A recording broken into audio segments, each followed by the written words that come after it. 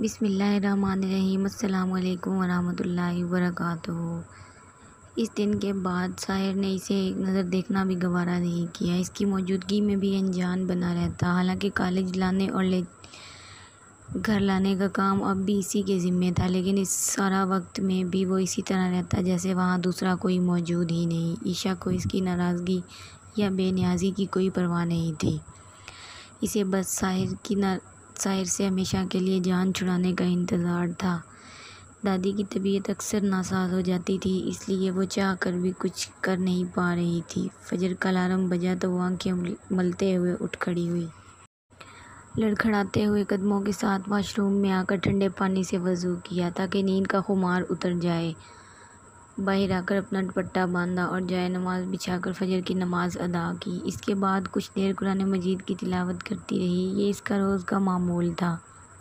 नमाज़ के बाद साहिर के वापस आने तक वो कुरान शरीफ पढ़ती। इसके बाद कभी थोड़ी देर के लिए सो जाती या कभी दादी के रूम में आकर इन्हें कुरान शरीफ पढ़कर सुनाती। इसके बाद दोनों मॉर्निंग वॉक के लिए बाहर चले जाते। थी, क्योंकि आजकल ज़्यादातर बीमारियों की वजह हवा की आलूदगी भी है। साहिर के आने पर इसने थोड़ी देर पढ़ कर कुरान मजीद रख दिया। जाए नमाज़ भी लपेट कर अपनी जगह पर रखी। इंटरकाम पर काफ़ी का कहा और लाइट बंद करके ड्रेसिंग रूम में आई। स्काई ब्लू कलर की घुटनों के ऊपर तकाती टी शर्ट पर ब्लू ट्रैक पैंट पहने दुपट्टा कंधे पे फैलाए। वो हमेशा ही मुख्तलिफ़ कपड़े पहनती थी, लेकिन सिर्फ़ ऐसे जिनसे बदन का कोई हिस्सा नज़र ना आए और कपड़े चाहे वेस्टर्न हो, दुपट्टा साथ होना लाजमी था, भले सर पर ना ओढ़े कपड़े चेंज करके। बाहर आई तभी मुलाजिम ने दरवाज़े पर दस्तक दी। दरवाज़े को थोड़ा सा खोल कर इसने काफ़ी का कप थाम लिया और शीशे के डोर को स्लाइड करके बालकनी में आ गई। ये रूम घर के बाकी कमरों के मुकाबले में बहुत खूबसूरत था। रंग से लेकर सामान तक बेस्ट चॉइस था, जैसे किसी रियासत के शहज़ादे का कमरा हो। बेड ऐसी जगह रखा हुआ था कि बालकनी की स्लाइडिंग डोर से पर्दे हटाने पर रोशनी सीधी बेड पर पड़ती। बालकनी की सफ़ेद दीवारें जामनी फूलों की बेल से सजी हुई थी, जो छत से नीचे आ रही थी। वहीं एक जानब कुछ एक्सरसाइज मशीनें और डिम्बल्स रख कर साहिर ने अपना छोटा सा जिम बनाया हुआ था।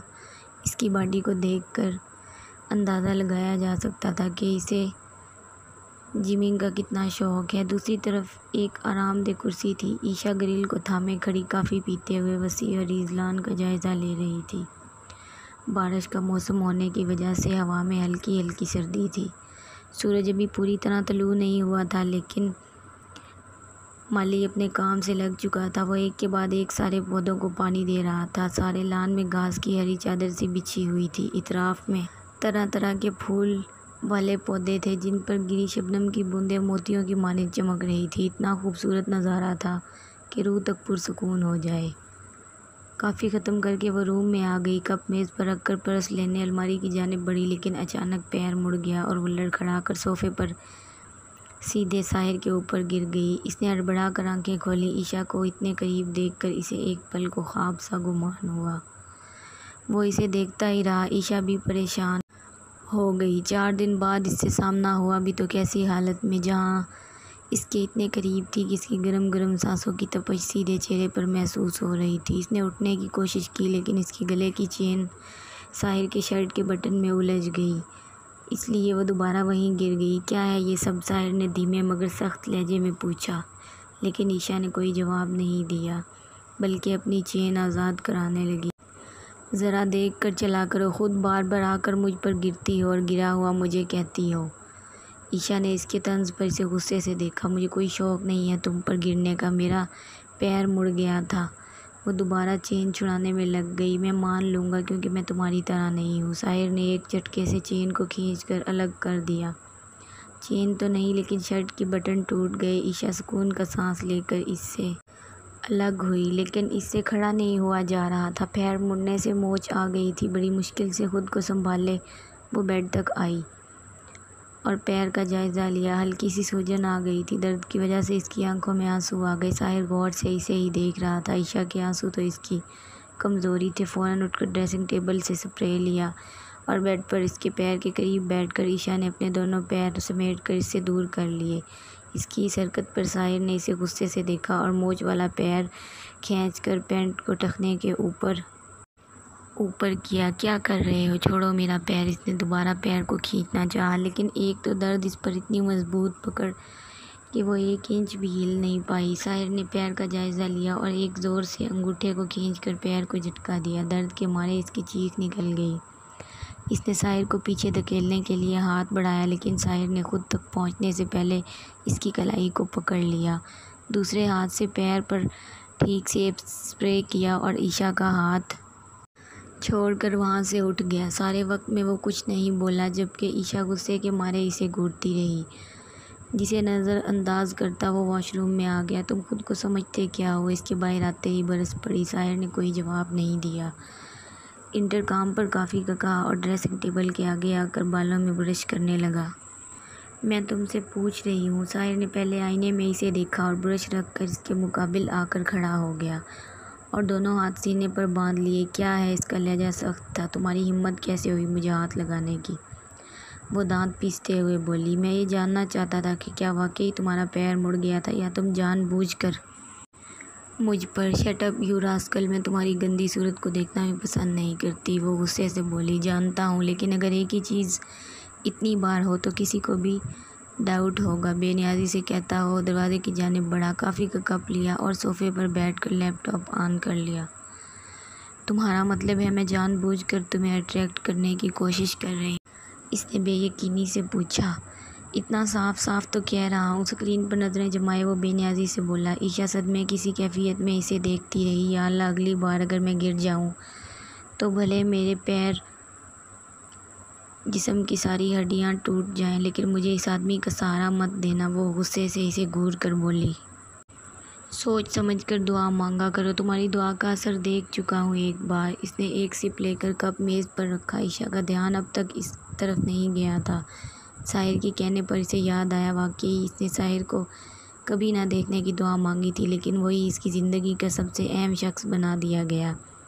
इसने शिकवा कुना नज़रों से छत की जानब देखा और दिल ही दिल में अल्लाह से नाराज़गी जताई। वो ये भूल गई थी कि जब बंदे का फ़ैसला अल्लाह अपनी मर्ज़ी से करता है तो इसमें हमारी बेहतरी छुपी होती है, लेकिन हम नाशुक्री करके अपनी खुशियों के दुश्मन बन जाते हैं।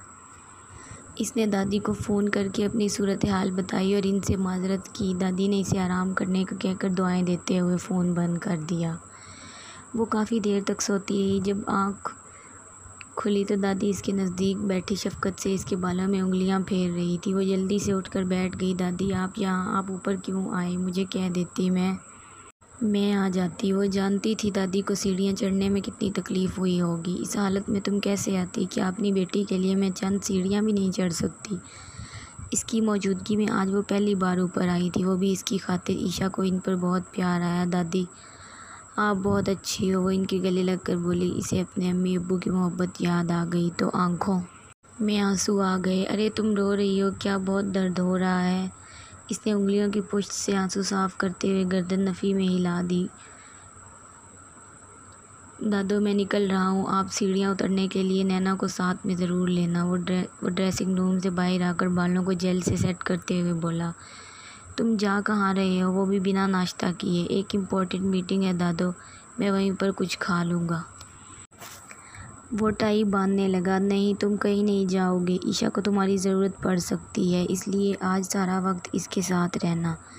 दादी ने सख्ती से हुक्म दिया, दादो, मैं बस मीटिंग अटेंड करके वापस आ जाऊँगा। थोड़ी देर में अब के वो इनके पास आकर बोला, बिल्कुल नहीं, मैंने कह दिया कि तुम नहीं जाओगे तो नहीं जाओगे। डॉक्टर को फ़ोन करके बुलाओ। नहीं दादी, इसकी ज़रूरत नहीं है, मैं बिल्कुल ठीक हूँ। ईशा ने इन्हें रोकना चाहा, देख रही हूँ कितनी ठीक हो। देखो कैसा मुरझा गया है। चेहरा देख कैसा मुरझा गया है, और तुम अब तक यूँ ही खड़े हो। जाओ डॉक्टर को बुलाओ और इसके लिए कुछ खाने को भी ले आओ। इस बार इन्होंने कुछ सख्ती से कहा, सॉरी दादो, मैं अपना कीमती वक्त इन लोगों के लिए बर्बाद नहीं कर सकता, जिन्हें मेरी ज़रूरत ही नहीं है। अपना ख्याल रखिएगा, अल्लाह हाफिज़। एक साथ कहकर वो बिना रुके बाहर निकल गया। ईशा इसकी पुश्त को देखती रह गई।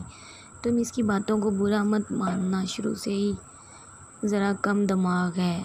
ज़रा ज़रा सी बात पर गुस्सा हो जाता है, लेकिन इस दिल का बुरा नहीं है। बस कभी कभी हर तरमी करने लगता है। सात साल का था जब माँ बाप का साया सर से उठ गया। इस वक्त तो कुछ समझने का भी शूर नहीं था।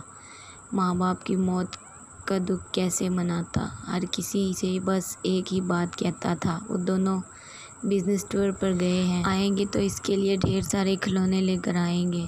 कभी कभी गेट से झाँक कर इनका इंतज़ार करता था। मुझमें इतनी हिम्मत नहीं थी कि इसे बता पाती कि अब वो दोनों कभी नहीं आएँगे। इकलौते बेटे को खोने का दुख भूल कर इसका दर्द कम करना चाहती थी। मेरे बेटे की आखिरी निशानी है, वो मेरे भरोसे छोड़ गया था। लेकिन तुम्हारे दादा जान इस दुख को बर्दाश्त नहीं कर सके और इन्होंने भी मेरा साथ छोड़ दिया। इस वक्त मैं हकीकत में टूट गई थी। ज़िंदा रहने की ख्वाहिश ख़त्म हो गई थी, लेकिन साहिर का मासूम चेहरा मुझे देख कर मुझे अपना दुख भूलने लगा था। वक्त के साथ साथ इसने ये यकीन तो कर लिया कि इसका इंतज़ार लासिल है लेकिन आज भी अफसोस करता है कि अपने माँ बाप के साथ गुजारा एक लम्हा भी याद नहीं है, जिसे याद करके सुकून पा सके। उनका चेहरा आंसुओं से तर हो चुका था। ईशा ने रोते हुए अपने हाथों से इनके आँसू साफ़ किए और इनके गले लग गई, लेकिन अब मुझे इसकी कोई फ़िक्र नहीं है। तुम हो इसका ख्याल रखने के लिए। वो कहना चाहती थी कि इसका ख्याल नहीं रख सकती दादी, आपने मुझसे गलत उम्मीद लगाई है, लेकिन वो सिर्फ़ सोच कर रह गई। दादी ने इसे खुद से अलग किया। दादी, आपकी तबीयत ख़राब हो जाएगी। सॉरी बेटा, मैंने तुम्हें भी परेशान कर दिया।